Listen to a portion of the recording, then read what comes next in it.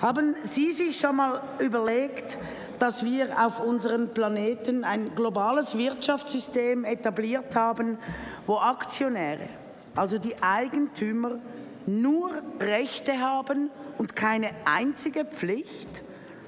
Sie haben das Recht, die Organe zu bestimmen und ein Recht auf Gewinnverwendung, also Dividende, wenn es den Unternehmen gut geht. Sie haben aber keine einzige Pflicht, zum Beispiel eine Kapitalnachschlusspflicht für den Fall, wenn es der Firma einmal schlechter gehen sollte.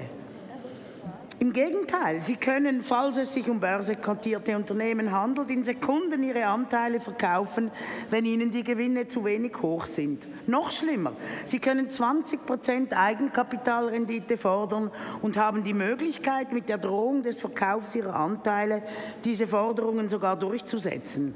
15 bis 20 Prozent Eigenkapitalrendite haben heutzutage gar Menschenrechtsstatus.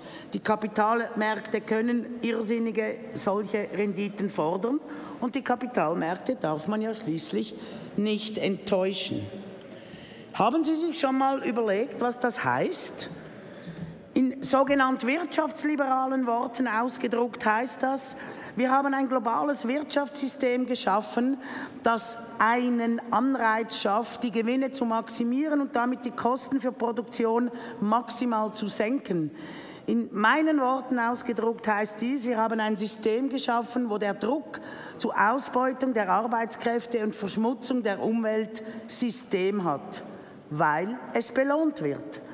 Wer in Ländern, wo das politische System es ermöglicht, Ausbeuterlöhne zahlt, wer Schadstoffe ungereinigt und ungefiltert in die Luft oder ins Wasser lässt, hat in diesem System Vorteile. Dabei machen sich die Konzerne gerade in den rohstoffreichen Entwicklungsländern korrupte Regierungen und eine nicht funktionierende Justiz zunutze. Ohne Regeln haben Ausbeutung und Verschmutzung System. Haben Sie sich schon einmal überlegt, dass das inakzeptabel ist? Welche weitreichenden Konsequenzen und gigantischen Folgekosten das hat?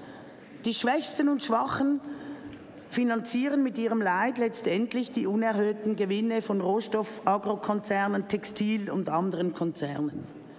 Mit der Konzerninitiative werden den Rechten der Eigentümer auf eine maximale Rendite endlich Pflichten entgegengesetzt, nämlich zwei Pflichten. Eine Pflicht, sorgfältig zu handeln und eine Pflicht, für Verfehlungen zu haften.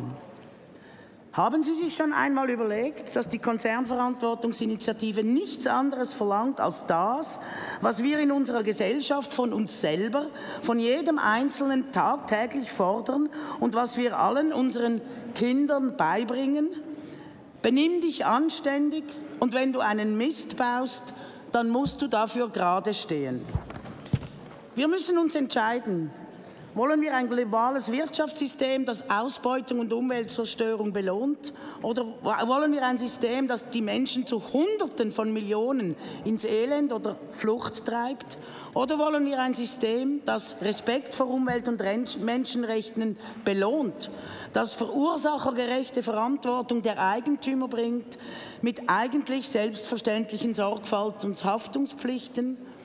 Wollen wir ein System, das gerade Afrika und Südamerika eine würdevolle wirtschaftliche Entwicklung ermöglicht, weil Menschenrechte geachtet, anständige Löhne gezahlt und Lebensgrundlagen geschützt werden?